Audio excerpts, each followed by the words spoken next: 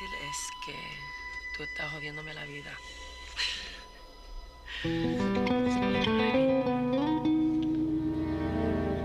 Yo no quería pelear contigo.